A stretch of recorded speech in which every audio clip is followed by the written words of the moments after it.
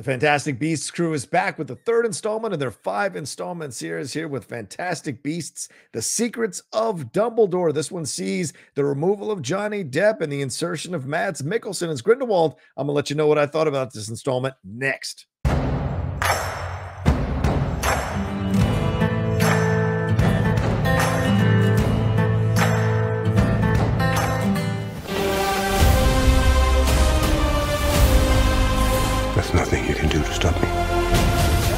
Wizarding World fans. It's the Outlaw John Rocha here with my non spoiler review for Fantastic Beasts The Secrets of Dumbledore, the third installment in this franchise, and the much anticipated one after WB took a little bit of a step back here and essentially did a soft reboot of this franchise, bringing in Steve Kloves, Kloves rather, to help with uh, J.K. Rowling on the screenplay, removing Johnny Depp and bringing in Mads Mikkelsen to take his place, and essentially readjusting some of the storylines, readjusting some of the plot points from the first two movies uh, to see what they can do here uh, to bring about a little more energy and uh, a little more excitement about the franchise yet again. And I'll get into it in just a second. But first, I want to remind you all to please subscribe to the channel down below. Hit that subscribe button, hit that bell button so you see when we're dropping all the content we do here on the Outlaw Nation channel. Head on over to Twitch.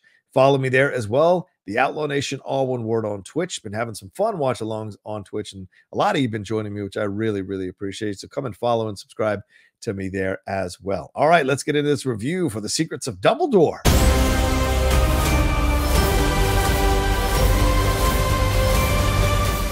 All right, right off the bat, I'm sure a lot of you are asking two questions. One, is it better than the second installment? Yes. Do they lean into the gay love storyline here between uh, Grindelwald and Dumbledore?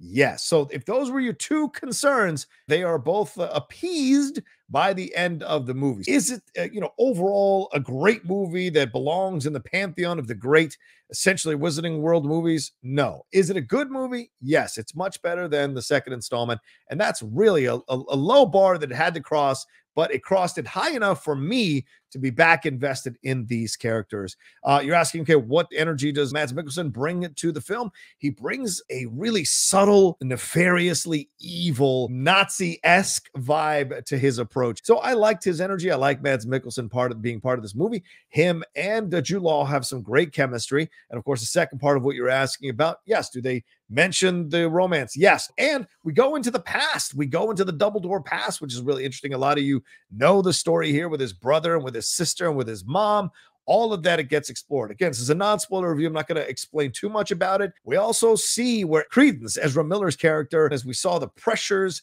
of Grindelwald and how he was corrupting him since the first two movies, what's going to come to bear with him, what stronger purpose is he going to have or discover here. Newt Scamander, I will say this Eddie Redmayne brings the, the, normal charm and the normal joy of Newt Scamander to the movie, but it seems clear to me that they are moving a little bit away from Newt being the main central part of things. And maybe this is kind of a wrap up of a certain storyline, and then Newt's going to take the lead again. But this was very much Dumbledore and Grindelwald's movie. This is not Newt Scamander's movie. He is one of the team that Dumbledore has assembled to go after Grindelwald. And there are some mini adventures that Newt goes on, but this is very much a Dumbledore versus Grindelwald movie. And another person who hasn't been seen much in the trailers or in the posters, and it's been talked about, is Katherine Waterston's Tina Goldstein. And yes, she is barely in the movie, but she is essentially replaced by Jessica Williams' new character, Eulalie Hicks. She comes in, she's got a little bit of that 1930s speech pattern that you saw, like Jennifer Jason Leigh doing Hudsucker Proxy, and it works. It really works. I think Jessica does a fantastic job. It's nice to see her energy in the movie and her back and forths with everybody. We do have uh, Dan Fogler back as Jacob Kowalski. Great to see Dan Fogler stepping back into Kowalski's shoes. And Kowalski has more to do with this movie. Dan Fogler brings such a great energy to the uh, franchise. So much fun to see him bringing his unique uh, style of comedy. You can't help but care about the guy. You can't help but like the guy. He brings such a vulnerability and a sweetness and a charm and a warmth to his portrayal of Kowalski uh, that when things start to happen in the movie, you really are brought along with, with his story. You really brought along with him through the story here. Yes, Alison Sudol is back as Queenie as well. She's got an interesting part to play in all of this. And I loved seeing Victoria Yeates as Bunty. Bunty gets a lot more to do in this movie, which is great to see as well. And Callum Turner is back for those of you who got a little bit of, um, uh, how can I say this? A little bit of an attraction for Callum Turner. You can certainly enjoy him in the movie. Basic plot line is you're just trying to stop him from uh, Grindelwald from taking over the Wizarding world. There are things that limit Dumbledore from fighting him. That becomes the thing that they talk about. Uh, and another part of this movie that I really enjoy are the beasts. We get to enjoy some nice new beasts that I've never seen before, including a beast. I'm not going to give anything away. A beast that chooses the leaders of the wizarding world. I had no idea about that. So very interesting to see see that being explored in some unique and interesting ways that all these characters kind of play into, or all the beasts rather play into the film. It's fun to explore. Now, some of the things that I didn't like. Although uh, Mads Mikkelsen brings a nice energy to Fantastic Beasts, I will say this: I don't 100% enjoy how they played his character out. Remember, the way Johnny Depp played him is this is a angry from the gut kind of villain. And Mads is a little more above it all, a little more proper.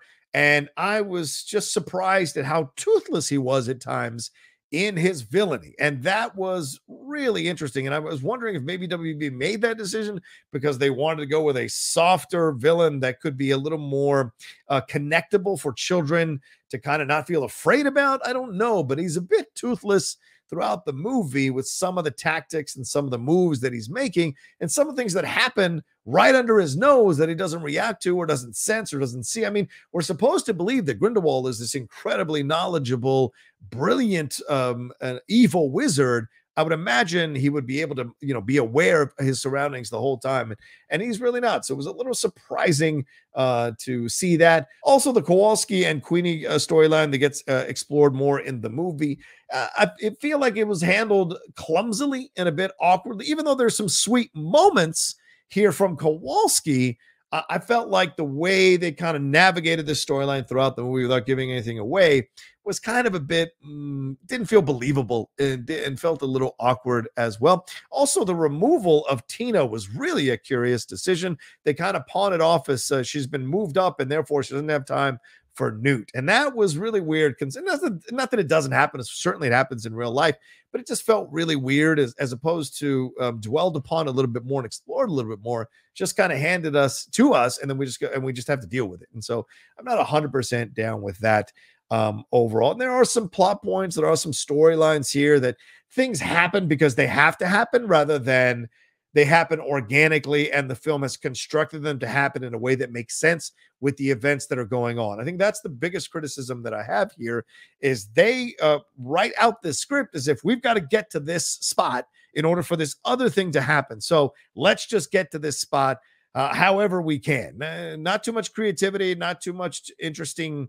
uh, uh, setups. Just get them there, and then we can go to the next thing. So to me, it felt a little bit like they had to accomplish some goals here in this movie, and they didn't. They knew they didn't have the uh, um, history or the background in the last two films in order to construct those moments uh, happening and make them believable and understandable.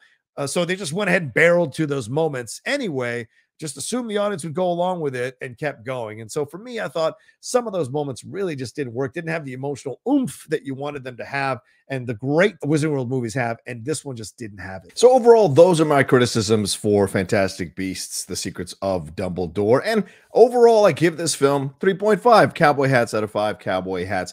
I think, as I said, it's better than the second film. So I'm glad to feel that way. I enjoy uh, some of the time we spend with these characters. I enjoy fleshing out the world a little bit more. I caught myself smiling, laughing in certain moments. Certainly, some time with the beasts also was a lot of fun. David Yates does a fantastic job directing the movie. Where it falls apart for me are the plot lines a little bit, are the uh, storylines and the convenient nature of some of these plot points that allow them to get to this overall thing. And maybe this is a matter of, you know, as we said, as I said earlier in this review, this is a matter of them course correcting and in course correcting, they just want to use this film to get people back uh, into trusting this franchise and back into liking these characters. And so they're just fixing some things here to kind of get rid of some storylines or to kind of wrap up some storylines and open the door for some new storylines to come in over the next two films. And maybe we're going to get an even better end to the franchise than we did the beginning. And that's a rare thing in franchises. So that's a positive overall. Plus, I like the strong um, statement they make about fascism and about uh, the idea of having an authoritarian regime trying to control uh, people, trying to control um, countries, trying to control organizations or wizarding worlds, uh, and the nefarious means they use to do it. Uh, and I think it's a statement that's very topical in our times and one that is well uh, should be well received by the audience overall. And looking at my tweet on this, this is what I had to say about it. Fantastic Beasts: The Secrets of Dumbledore is a much better film than the previous one with some sweet, funny, and touching moments of magic.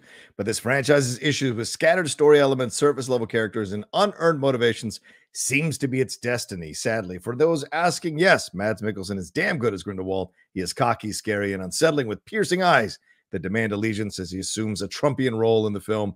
Jude Law brings the smooth thing that he does best, and Eddie Redmayne wins you over again. So those are my overall thoughts there in tweet form for anybody who wanted to go and look it up there on Twitter. All right. Well, thanks so much for watching this review. Appreciate it madly. Please make sure you subscribe to the channel down below. Hit that subscribe button, hit that bell button so you see when we're dropping all the content we do here on the Outlaw Nation channel. And please leave a comment down below as well and a like. Likes and comments elevate the visibility of everything we do here on the Outlaw Nation channel and share it on your social media. Please share this on your social media. Put that hashtag, the Outlaw Nation, on your sharing, and maybe people will come over to the channel and subscribe as well, as I just told you to do a few seconds ago. And if you're on Twitch, come and follow me there, the Outlaw Nation, all one word on Twitch. Been doing a lot of stuff there. Gonna be doing even more stuff there on Twitch. So come and hang out with us, including the John and Wendy show on Fridays at 3 p.m. PT and at the Outlaw Nation. Oh, sorry, and at the Rocha says on Twitter, Instagram, and TikTok. And don't forget my podcast, The Top 10, The Cinephiles, and The Geek Buddies. All right, y'all take care of yourself.